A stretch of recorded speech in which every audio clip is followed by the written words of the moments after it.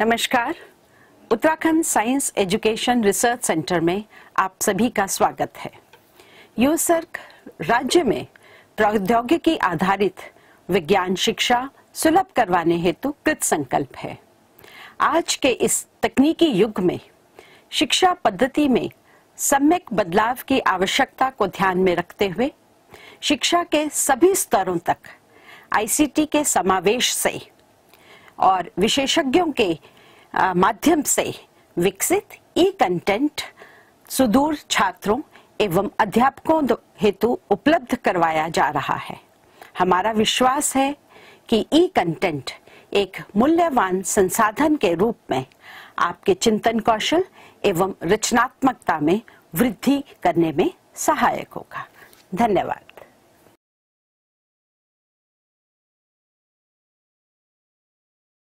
चलिए आइए इस वीडियो में हम लोग वृत्त विषय के बारे में अपने सारे कॉन्सेप्ट्स को रिवाइज कर लें। और एक बार ये देखते हैं कि हमारे पास अगर एक वृत्त है और एक रेखा है तो उनके बीच में किस तरीके का संबंध हो सकता है।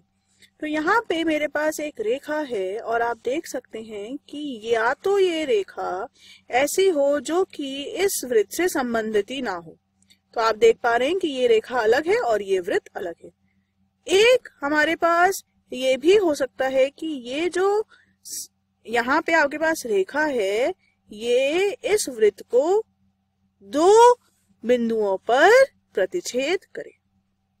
ऐसी रेखा जो कि एक वृत्त को दो बिंदुओं पे प्रतिच्छेद करती है, उसे हम कहते हैं छेदक।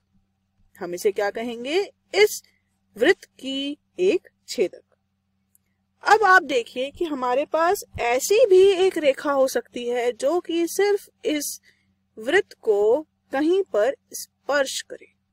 सिर्फ़ एक जगह ये रेखा इस वृत्त को स्पर्श कर रही है और इसलिए हम इसे बोलेंगे स्पर्श रेखा। क्या कहेंगे हम इसे? स्पर्श करने वाली रेखा जिसको हम बोलते हैं। स्पर्श रेखा और जिसे हम टैंजेंट कहते हैं इंग्लिश में। अगर हम छेदक की बात करें तो इसको हम कहते हैं सेकेंड और पहला जो मैंने आपको यहाँ पे केस बताया था तो यहाँ पे हम कह देंगे कि ये रेखा जो है, वो इस व्रत के लिए, इस व्रत के लिए एक अप्रतिच्छेदी रेखा है, जिसका इस वृत्त से कोई भी संबंध नहीं है। अब यहाँ पे इस जो विषय में, इस चैप्टर में हमारे लिए सबसे ज़रूरी है इन स्पर्श रेखाओं के बारे में जानना। तो सबसे पहली बात हमने ये देखी कि अगर हमारे पास कोई स्पर्श रेखा है तो वो एक वृत्त को सिर्फ़ एक ही बिंदु पर प्रतिच्छेद करेगी। तो इसलिए हम ये कह सकते हैं कि जो स्पर्श रेखा है, वो सिर्फ़ एक ही बिंदु पर प्रतिच्छेद करेगी। तो ये एक बिंदु यहाँ पे पी हो गया। दूसरे शब्दों में हम ये भी कह सकते हैं कि स्पर्श रेखा एक छेदक रेखा है या फिर छेदक रेखा का एक विशिष्ट दशा है, जहाँ पर इसकी जो दोनों ये बिंदु हैं, ये संपाती हो जाएँ। या फिर हम कह लें कि जो भी यहाँ पे हमारे पास, यहाँ पे संगत जीवा होगी मतलब इसके करस्पॉन्डिंग जो यहाँ पे कॉर्ड होगी ए बी अगर हम इसके पॉइंट ए बी दोनों को एक ही जगह पे कॉन्सिडेंट करा दें तो एक छेदक रेखा को हम कह सकते हैं कि वो स्पर्श रेखा बन गई। तो इसलिए जो दूसरी ज़रूरी बात हमारे पास स्पर्श रेखा की है, वो ये कि किसी वृत्त की स्पर्श रेखा, छेदक रेखा की एक विशिष्ट दशा है, जब संगत जीवा के दोनों सिरे संपाति हो जाए। और मैंने आपको बताया कि कैसे वो दिखेगा। यहाँ पे हम एक और बात जो कि बहुत ही ज़्यादा ज़रूरी है, वो समझ लेते हैं। कि अगर आप किसी स्पर्श रेखा की बात कर रही हैं और आप यहाँ पे उस बिंदु को देख रहे हैं जहाँ पे वो स्पर्श रेखा वृत्त को स्पर्श कर रही है तो उस बिंदु पे अगर आप एक त्रिज्या बनाएँ इस वृत्त की तो इस वृत्त की त्रिज्या तो आप बना ही सकते हैं।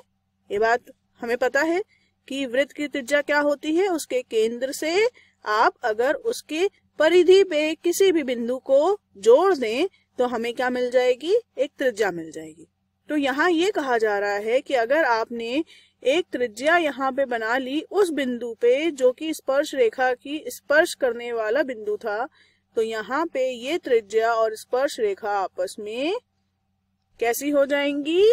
समकोण बनाएँगी और इसलिए हम कहेंगे कि इस बिंदु पे स्पर्श रेखा के ऊपर ये जो त्रिज्या है वो लंब होगी। तो हमने तीन बातें यहाँ पे पढ़ी, जो कि स्पर्श रेखा को समझने के लिए बहुत ही ज़रूरी है। मैं फिर से बता दूँ कि स्पर्श रेखा वृत्त को सिर्फ़ एक ही बिंदु पे स्पर्श करेगी। स्पर्श रेखा को छेदक रेखा का एक विशिष्ट रूप कहा जा सकता है, जहाँ पे उसकी जो भी संगत जीवा है, उसके दोनों सिरों को हम कहें कि संपाति हो गए।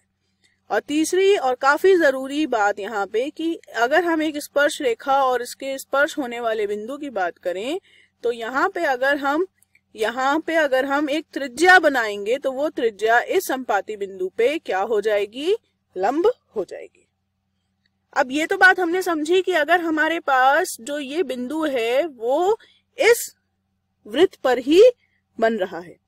मगर आइए चलिए हम एक और यहाँ पे दशा देखें। और इस दशा में अब हमारे पास जो ये बिंदु है, जिससे हम स्पर्श रेखाएँ बनाना चाह रहे हैं, वो इस वृत्त के बाहर है। तो ऐसी दशा में आप ये देख सकते हैं कि ये जो बिंदु है, इससे हम इस वृत्त पे दो स्पर्श रेखाएँ बना पाएँगे। एक इस तरह और दूसरी इस तरह। तो क्या हमें समझ में आया कि अगर हमारे पास एक बिंदु व्रत की परिधि के बाहर है तो आप यहाँ पे दो बना पाएँगे क्या स्पर्श रेखाएँ? और मान लेते हैं कि ये रेखाएँ जो हैं, वो स्पर्श कर रही हैं इस वृत्त को T1 और T2 बिंदु पे। अब यहाँ पे फिर से हमारे पास कुछ ज़रूरी बिंदु हैं जो हमें ध्यान रखने हैं।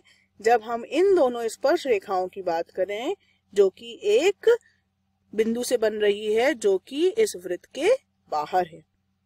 तो सबसे पहली बात तो ये कि अगर हम पी टी वन रेखा की लंबाई की बात करें और पी टी टू रेखा की लंबाई की बात करें तो मैं आपको बता दूँ कि ये दोनों रेखाएँ जो हैं वो बराबर ही होंगी। तो हमें क्या पता चला कि स्पर्श रेखा की लंबाई अगर हम बना रहे हैं वो एक बाहर के बिंदु से एक वृत्त पे तो हमेशा उसकी लंबाई बराबर होगी।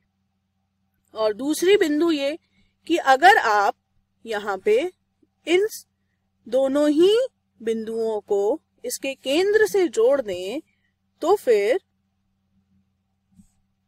हमारे पास जो ये रेखा ओ पी आएगी तो मैं इसे एक दूसरे रंग से यहाँ पे दिखा देती हूँ कि अगर आप इस रेखा ओपी की बात करें तो ये ओपी जो है, वो कोण T1 P T2 का अर्धक होगा। मतलब आपके पास जो ओपी है, वो कोण, कौन सा कोण? जो कोण इन दोनों स्पर्श रेखाओं के बीच में बन रहा है P1 one P T to इसका अर्धक होगा। अर्धक मतलब दो बराबर हिस्सों में बांटने वाली रेखा। तो इसलिए ओपी जो है वो कोण T1 P T2 का अर्धक होगा। तो हमने यहाँ पे दो जो ज़रूरी बात थी वो क्या पढ़ी? कि अगर हमारे पास एक बिंदु वृत्त के बाहर है और हम उस बिंदु से इस वृत्त पे स्पर्श रेखाएँ बनाते हैं तो हम दो ही स्पर्श रेखाएँ बना पाएँगे और उन दोनों स्पर्श रेखाओं की जो लंबाई है वो बराबर होगी। दूसरी बात हमने देखी कि अगर हम इन स्पर्श रेखाओं की जो संपाति बिंदु है, उसको केंद्र से जोड़ दें और इस केंद्र को हम इस बिंदु से जोड़ दें जहाँ से हमने स्पर्श रेखाएँ खींची थी तो जो आपको ये रेखा ओपी मिलेगी, वो जो दोनों स्पर्श रेखाओं के बीच का कोण है, उसका अर्धक होगा। तो चलिए आइए, अब हमने जो भी यहाँ पे कॉन्सेप्ट थे, वो समझ लिए अच्छे से। अब हम इसके आधारित, इसके ऊपर आधारित कुछ प्रश्नों का हल करें। तो चलिए आइए, पहला प्रश्न देख लेते हैं। एक वृत्त एक त्रिभुज की भुजा बीसी को और विस्तारित भुजाओं ए बी और ए सी को क्रमशः पी क्यू आर बिंदुओं पर स्पर्श करता है। सिद्ध कीजिए कि ए क्यू की लंबाई बराबर हो जाएगी। परिमाप ए बी सी का, क्योंकि ए बी और बी सी और सी ए सी का जो योगफल है वो परिमाप हो जाएगा। त्रिभुज ए बी सी का और उसका आधा। तो हमारे पास जो यहाँ पे एक डायग्राम बनेगा वो कुछ इस तरह से होगा।